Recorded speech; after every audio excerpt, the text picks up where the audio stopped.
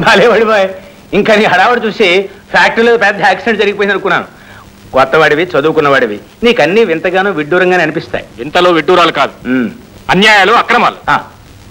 అన్నావా? నాకు తెలుసు అయినా ఆ మాట అంటావని. ఎందుకంటే ఫ్రెష్గా కాలేజీ నుంచి వచ్చావు కదూ? అందుకని నీకు ప్రతి చిన్న విషయం అన్యాయంగానే అనిపిస్తుంది. పెద్ద చేప చిన్న చేపను మింగటం కూడా చాలా పాపంగాను ఘోరంగాను అనిపిస్తుంది. ఇదిగో చూడబ్బాయ్ వ్యాపారం అన్న తర్వాత ఇలాంటివి చాలా సహజం అవసరం కూడాను. కాస్త ఉద్రేకం తగ్గించి పని చేయటం చేయించడం నేర్చుకో. ఒక నెల రోజులు గడిచిపోయిందంటే నీకే అలవాటు అవుతుంది ఆ తర్వాత నేను వద్దన్నా కలిపేస్తావు వెళ్ళు వెళ్ళు. వెళ్ళి నీ పని చూసుకో. Killer Brew claims 60 lives in Madras, 30 more critical. In this connection, 10 persons were arrested and ఏమిటండి? ఏమైంది? ఏముందండి? కల్తీ సారాకి మద్రాసులో అరవై మంది చనిపోయారంట. ఇదా స్పెషల్ మొత్తం మందు. అది వ్యాపార రహస్యం. ఈ ఫార్ములా ఒక విశ్వనాథం గారి తప్ప ఇంకెవరికీ తెలియదు.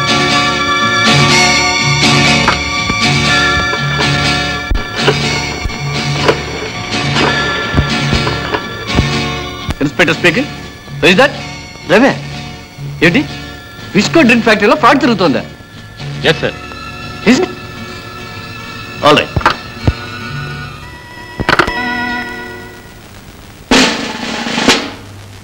hello good morning sir take your seat no thank you మీరు కల్తీ వ్యాపారం చేస్తున్నట్టు మాకు రిపోర్ట్ వచ్చింది. మీ ఫ్యాక్టరీకి తాళాలు ఇస్తున్నాం వాట్ రాస్కెల్ నువ్వు ఇలా తడిగుడ్డలతో గొంతుకొస్తావు అనుకోలేదురా. ఎంత ద్రోహం చేశావురా? నీకు ద్రోహం కావచ్చు. కానీ దేశాన్ని సేవ చేశాను అనుకుంటా దేశం దేశం. ఎక్కడుందా దేశం? ఆకలితో ఉన్న నీకు ఒక పూట అన్నం పెట్టిందా? దరిద్రంలో నిన్ను ఆదుకుందా? నేను రా.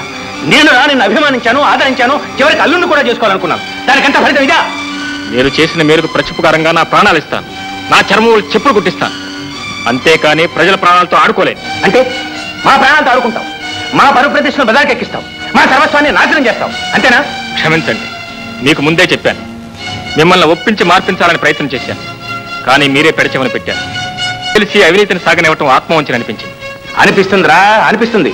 ఏ కష్టం తెలియకుండా నోటికి అందిస్తుంటే హాయిగా కూర్చుని తింటున్నావు కదూ? మామయ్య! మళ్ళీ మళ్ళీ అదే మాట దెప్పక్కర్లేదు ఏ నాటికైనా మీరు రుణం తెచ్చుకుంటానో ఆ నాటికైనా మీరు నన్ను అర్థం చేసుకుంటారు.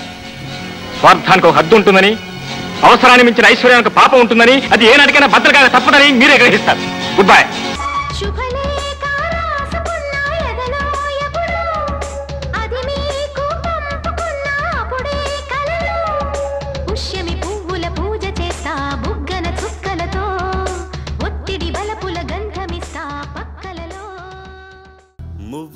నవ్వకల.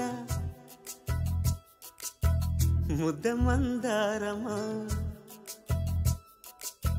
మువ్వల నవ్వకల. ముద్ద